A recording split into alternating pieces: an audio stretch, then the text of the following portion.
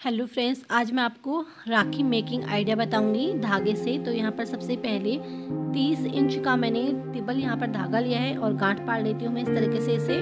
उसके बाद यहाँ पर मैंने बीच में जो धागा है, उस पर मैं मोतियाँ डाल दूँगी। आप जितनी भी मोतियाँ डालना चाहते हैं, डाल सकते हैं। तो यहाँ पर मैंने मोती डाल दी है, फिर यहाँ पर से एक धागे को उठाते हैं। और जो मोती वाला धागा है ना, उसके नीचे से हम धागे को डालेंगे इस तरीके से। फिर उस धागे में दोबारा फंसाते हुए इस तरीके से ऊपर की तरफ़ को खींचेंगे और इसमें गांठ मारेंगे। ठीक है? तो उसके बाद सेम तरीके से हमने इसे भी करना है साइड वाले को।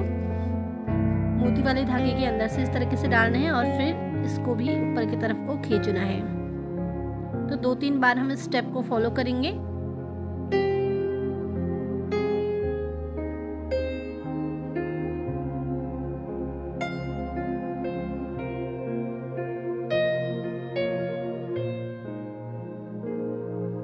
उसके बाद हम मोती धाम, मोती को डालेंगे और फिर हमने वही रिपीट करना है। तो यहाँ से हम इस तरीके से धागे को अंदर की तरफ़ को खींचेंगे। तो ये मोती के किनारे से धागा आ जाएगा, इस तरीके से गोलाई में देखिए। सेम तरीके से दूसरे वाली साइड से भी करना है, ताकि दोनों साइड से धागा हमारा गोल तरीके से आ सके। इस तरीके से आप अपने बच्चों के लिए घर पर राखियाँ बना सकती हैं।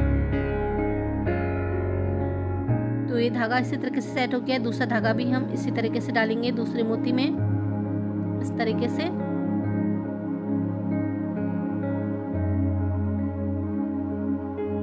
सेम प्रोसेस को दोबारा रिपीट करेंगे धागे को।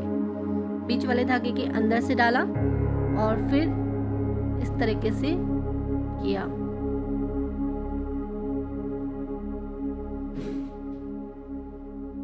तो बस हमें सेम मोती पर यही रिपीट करना है।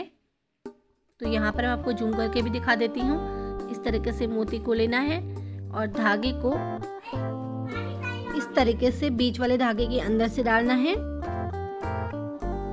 और फिर इसके अंदर से दोबारा धागे को डालना है। इस तरीके से।